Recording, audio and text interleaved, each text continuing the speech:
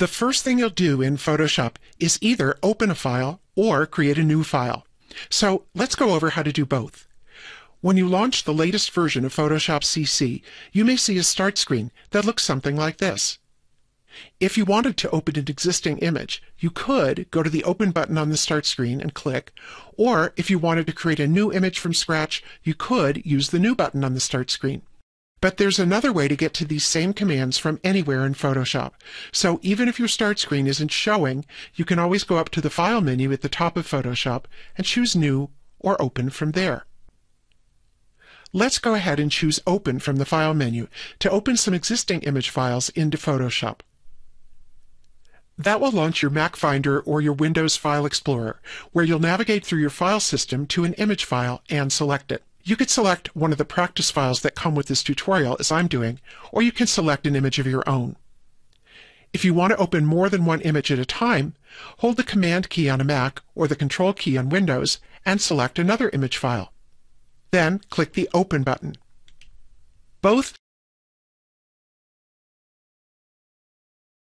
Let's take a look at how Photoshop is laid out to help you get comfortable with your workspace. To follow along with this tutorial, you can open any image. The first interface element to get familiar with is the document window, which is right here in the center of the screen. This is where you'll work on your images. Over to the right of the document window are the panels that have a variety of image editing controls. There are more panels than just those you see in this panel column. Some of the panels are hidden behind others. For example, here we have a panel group of the Color panel and the Swatches panel. If I want to see the swatches panel, I can just click its tab, and that brings it forward so I can use it.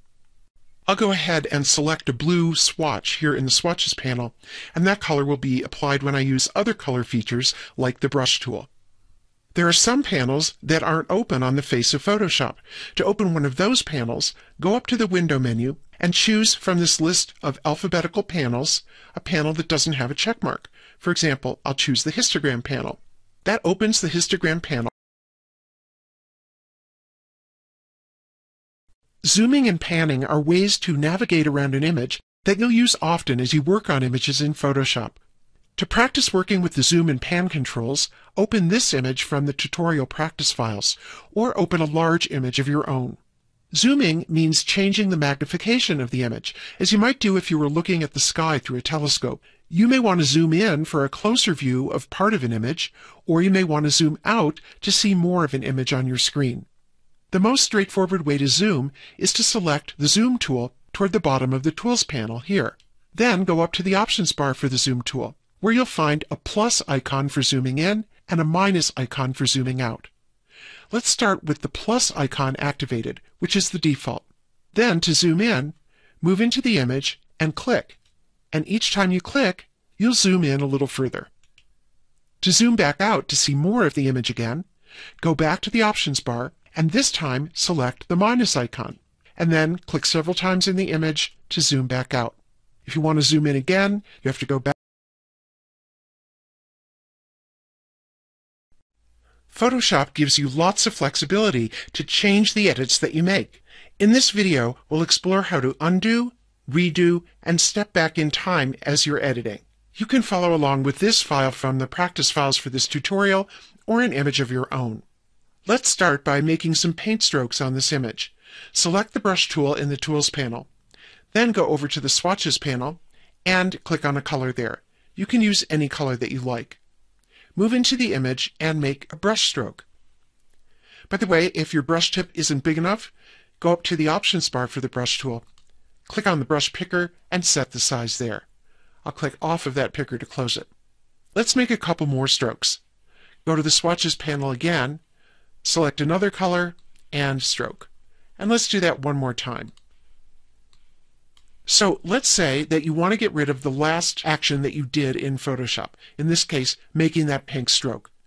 The quick way to do that is to use a keyboard shortcut, Command plus Z on the Mac or Control plus Z on Windows which I'll do now.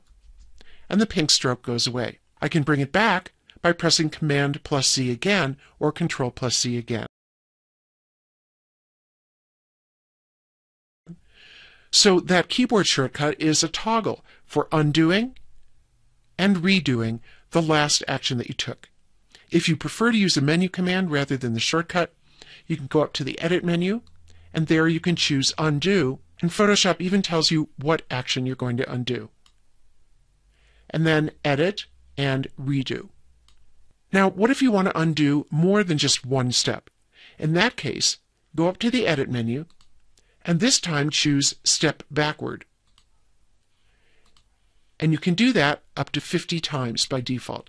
And each time, you're stepping back one action, one step in time. Similarly, you can step forward one step at a time. Edit, step forward. Edit, step forward. Edit, step forward. There's one more way that you can step through time in Photoshop, and that's using the History panel. The History panel is located here in this collapsed column of panels. If you don't see it, go up to the Window menu and choose History. I'm going to expand this panel by moving down to its bottom bar until I see a double-pointed arrow and then dragging down.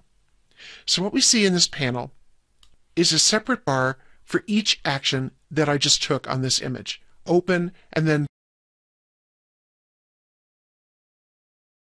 Saving is a critical step in Photoshop. So let's see how to do it safely. To start, open this image from the tutorial practice files. Now let's make a change to this file. Let's move this small inset photo to somewhere else in the image. To do that, go to the Tools panel and click on the first tool, the Move tool. And then move into the image, click right on the small bouquet photo, and drag it somewhere else in the image. I'll just put it here. You can put it anywhere you like. By the way, if that didn't work for you, it's probably because you're not on the right layer. We'll learn a lot more about selecting a layer later in the tutorial series, but for now, you can avoid that problem by just going over to the Layers panel and making sure that you have the small bouquet layer highlighted. And then try dragging that bouquet again.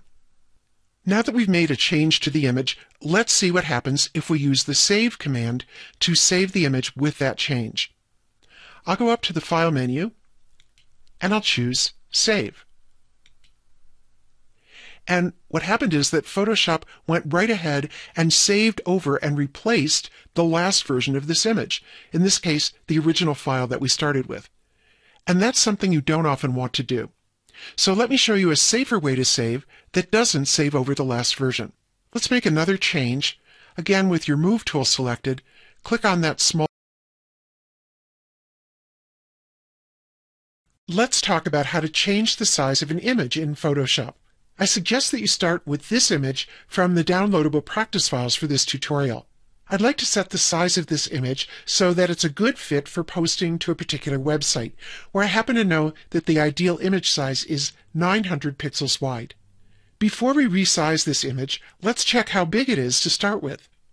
In most cases, you'll want to start with an image that's bigger than, or at least not a lot smaller than the resized image that you need.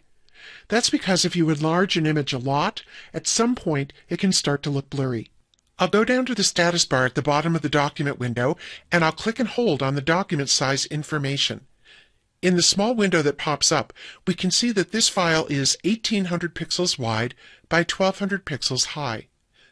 Since we want to put it in a spot that's only 900 pixels wide on our website, that means we'll be scaling it down. To resize this image, I'll go up to the Image menu, and I'll choose Image Size. That opens the Image Size dialog box. If you like, you can make this window bigger by going to the bottom right corner and dragging out. Over on the left, you can see a preview of the image, and on the right are the controls for changing image size.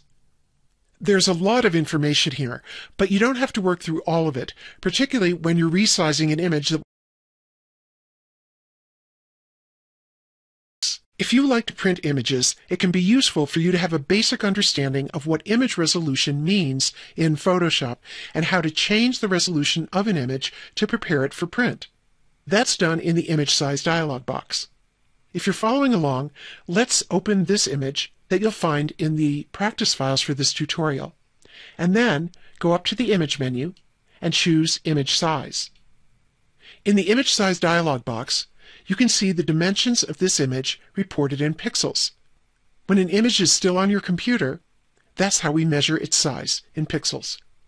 But if we were to print this image, we would measure the size of the print in inches, not pixels. Down here in the resolution field, you can see the resolution that's currently set for this image. It's 100. There's nothing special about a resolution of 100, it's just a round number that I picked when I set up the file for this lesson. Now, what does resolution mean here? Well, if you read across this line from left to right, you may get a sense of it. This is telling us that resolution is a particular number of pixels per inch. In this case, 100 pixels per inch. Another way to say that is that if and when you print this image, 100 pixels out of the total 1800 across and the total 1200 down will be assigned to every printed inch. The crop tool is one of Photoshop's most useful tools, particularly for those of you who take lots of photographs. You can use it to improve a composition and to straighten crooked photos. I've opened this photo from the practice files for this tutorial so I can show you the basics of the crop tool. I'll start by selecting the crop tool here in the Tools panel. As soon as I do, you can see this border around the whole image. That's the crop box. I'll move my cursor over any of the corners or any of the edges of the crop box and drag to reshape that box. So in this case, I might drag it way in to create a very different composition than the original photograph. As you create your crop, Photoshop shows you a preview with the areas to be cropped away shaded in gray. That way, you can evaluate what it is you're about to eliminate before you finalize the crop. Now, before I finalize this crop, I want to go up to the options bar to show you an important option there, and that is delete cropped pixels. That option is checked by default. I usually like to uncheck that because when delete cropped pixels is checked, if you finalize the crop and save the image, you'll permanently delete the cropped away pixels. But with this option unchecked, you can bring back the cropped away pixels at any time.